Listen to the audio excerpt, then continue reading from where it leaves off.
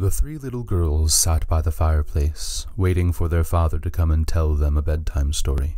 He had said that tonight they were going to learn a very important story, and when they had heard this, they were very excited. They waited and waited, staring into the fire to pass the time, and as they did, they became drowsy and started to doze off. Then they heard a soft voice fill the room, and as it did, images appeared to them in the fire. Before the beginning, there was a great emptiness known only as the void. The void stood static amid the great darkness as a cold, voiceless wind passed along the blank slate. But there was Daru, whose name none have been able to interpret, and who lived apart from the void, and stored up for himself a great treasury of being. And he looked upon the void and pondered all that he could do with it. And so he began his work. He stretched forth his mind into the void and sent out his most simple thoughts. Then he opened up the treasury, and his spirit drew forth his power like a great river flowing down a mountainside. And the river came to his thoughts, and they all opened their eyes and saw Daru standing above them on his throne. They were all happy, for they all saw their Creator, and they enjoyed looking upon him as one enjoys looking upon a fire when all around is darkness. There were six of them, and Daru gave each of them a name, and each of them bowed before Daru and accepted their task with joy. These were the six children of Daru, the wisest and most powerful of all beings made before the foundations of the world. Daru once more sent out his thoughts into the void of uncountable number, each one different from the last, and each representing a different part of his mind. And once more the treasury was opened, and the power of Daru came forth like a great fire and burned at the heart of each thought. And they all opened their eyes and knelt before him in wonder. They could not see each other at first, for the light of their Creator kept out the vision of all else, but the fire within them burned brighter, and the void about them was filled with light, and then they saw their brethren. Some saw farther and greater, while others only saw those near him, and even them unclearly. But all saw Daru, and Daru made for them a great hall, with his throne amidst them as a great feast was laid out before all the thoughts, and the feast brought them unto happiness in eternity. But Daru once more looked upon the void and the surrounding darkness, and once more he gained the desire to create.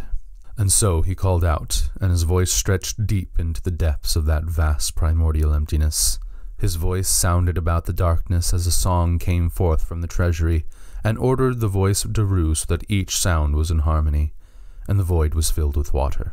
But the song went about still and manifested on the countless powers of Daru about the hall, and they all opened their eyes and knelt before the throne of Daru, but only barely understood the thoughts that came before them. Among them was Nuthel, the wisest and farthest seeing of all the powers, and he alone understood the thoughts. And Nuthel said to Daru, Master, you called us. What would you have us do? While all the thoughts stood about the water in wonder at all that happened. Then Daru said to all who were present, I wish to show you what will happen with the void. I shall show the course of creation just as I intend it, and I have created you to bring about what you see. Then Daru called out once more to those primordial waters, and all turned and looked upon the water, for a section of it had begun to glow with its own radiance. Then the radiance brought about many different colors, and soon shapes and motions began to form, and the whole of history began to play out before them. Closest to the mirror were the powers whose eyes had just been opened. The highest among them were the six of the great powers, who stood above the other groups of powers, while Nuthel stood above them all, and he alone perceived all parts of the mirror, and understood all that was to happen. Above all the powers stood the thoughts, whose hierarchy none have fully comprehended, but it is known that the first thoughts of Daru stood above them, with mercy and justice standing before even the throne of his great majesty. The whole company of heaven stood above the mirror and continued to marvel at all they saw, but one of the highest of the thoughts found a part of the mirror which disturbed him, for he perceived an abomination in the mixing of base and noble things. Therefore he descended to the mirror, unbeknownst to all his peers, and indeed unbeknownst to all but Daru himself. He came to the mirror and sought to correct what was surely a mistake, but when he touched the mirror, he found that the image worsened, and all the waters became turbulent. He grew afraid, for he knew that his peers might soon realize what he had done. Therefore he attempted to fix his mistake, but the more he touched the water, the more it became turbulent, and soon the waters began to grow murky, and their light began to diminish. He looked about for any place to hide, but only saw the glowing light of the song of the treasury about him. He began to flee, but soon the crashing waves of the ruined mirror swallowed him, and he saw all the horrors he had caused by his action. Meanwhile, the thoughts and the powers looked upon the mirror as it grew turbulent and murky, and many complained to Daru, Master, how shall we bring about your will when we cannot see our instruction? Daru replied to them, saying, Worry not, you shall only be judged on what you know. What you cannot see is not your responsibility. When you have come to the last point, you shall see what your task is. The rest of the mirror played out before him, as it became less and less clear what they saw. Finally, the light dimmed, and the mirror returned the rest of the waters within the void. Daru drew the rebel out of the water in which he was swallowed and made him stand before all the thoughts and powers.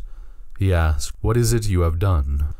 The rebel replied with caution, for he knew he lied. I saw a mistake within the mirror, and I sought only to correct it.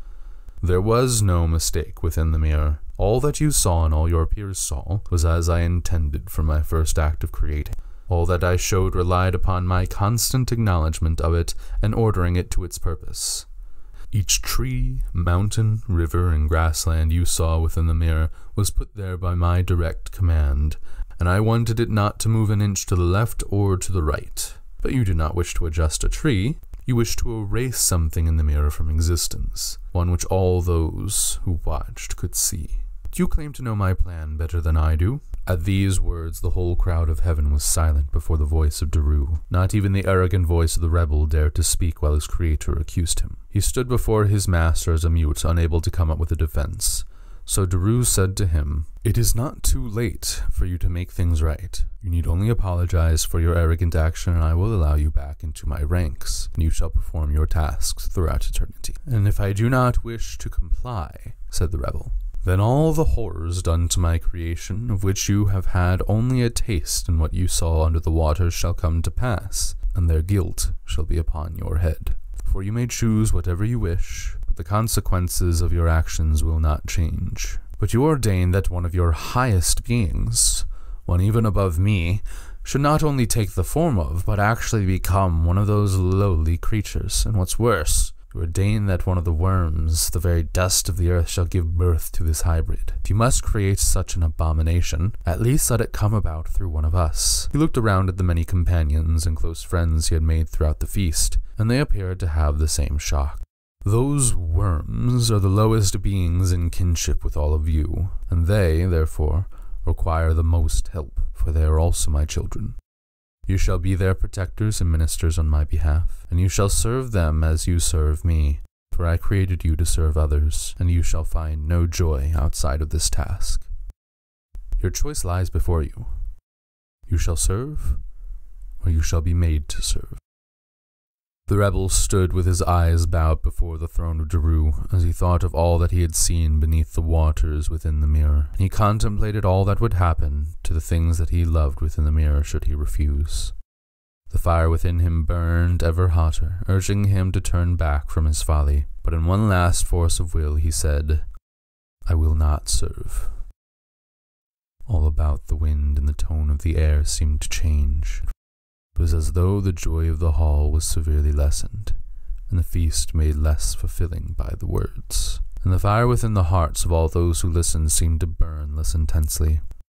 The air became cold, and the face of Daru went that from a worried father to a stern judge. If you will not serve, you shall rule. Your kingdom will be imperfection, and your domain all that is despicable.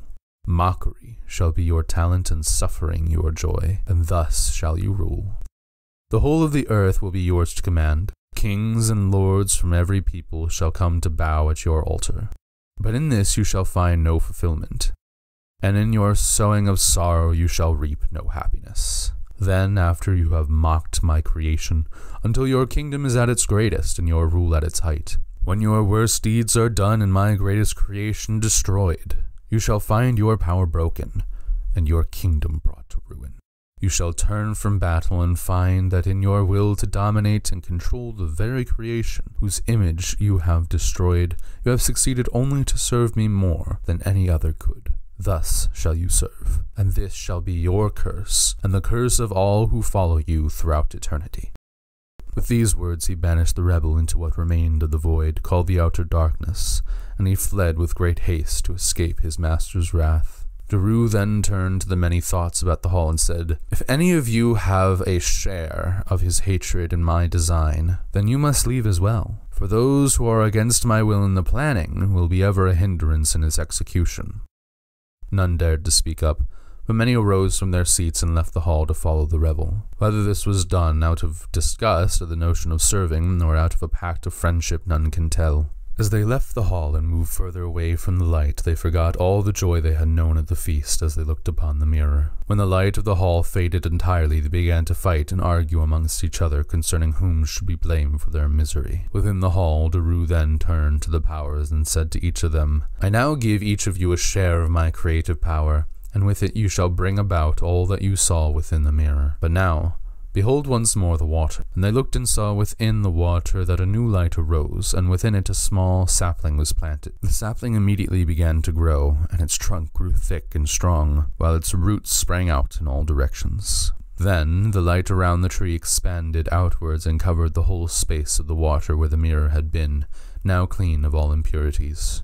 The roots of the trees sprang out in each direction, and others plummeted deep down into the water into the depths of that primordial sea. They encompassed a great mass of water and disturbed whatever creatures were part of that first song which created the great encircling ocean. Soon the roots began to coalesce and wrap around each other, and this continued until the form of the tree was that of a trunk and branches atop a sphere. And the six of the great powers, who stood above the others witnessing the mirror, fell deeply in love with the tree and all the work with which they would do upon upon it. It came to pass that each of the powers followed after one of the six and became their disciple, and they made ready to bring about their duty in creation. But the other, Nuthel, the ever faithful servant, was called by Daru as the powers began for departure. He sat by the throne as each chose their teacher, and thus none thought to choose him. But Daru shared with him all his secrets and all his counsels, such that none, not even the children of Daru, could ever share with him a greater part of Daru's mind. And Nuthel would remember all that he heard in this encounter,